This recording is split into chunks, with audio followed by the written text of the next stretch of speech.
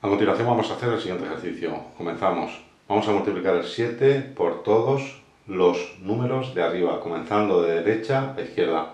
7 por 0, 0. No me llevo ninguna. 7 por 1, 7. No me llevo ninguna. 7 por 3, 21. Me llevo la decena, mirar. El 2 arriba y el 1 debajo. Siempre las que me llevo se van a colocar arriba del número que hay a la izquierda del que estoy multiplicando o del que he multiplicado. Multiplicado 7 por 3, 21, el 2 lo coloco arriba del 4, del número que está a la izquierda, del número que está delante, ¿de acuerdo? Siempre se va a ser el mismo mecanismo. 7 por 4, 28, más 2, 30, el 3 arriba, 30 y el 0 debajo. 7 por 4, 28, más 3, 31, el 3 arriba y el 1 debajo. 7 por 5, 35, más 3, 38. El 3 arriba y el 8 debajo. 7 por 6, 42, más 3, 45. Ya escribimos la decena también, porque no hay más números a la izquierda del 6. Hemos terminado de multiplicar el 7 por todos los números de arriba. Ahora vamos a multiplicar el 8, pero mirad, nos tenemos que dejar un hueco espacio a la derecha, para lo cual voy a hacer una cruz, ¿de acuerdo? Y comenzamos.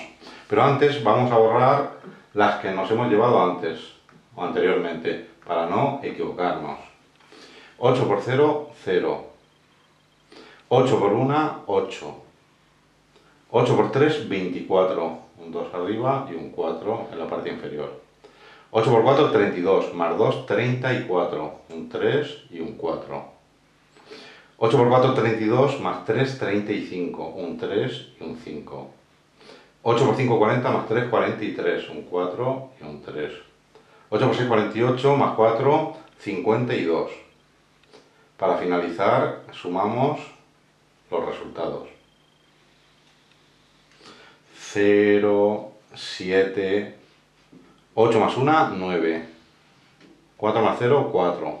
4 más 1, 5.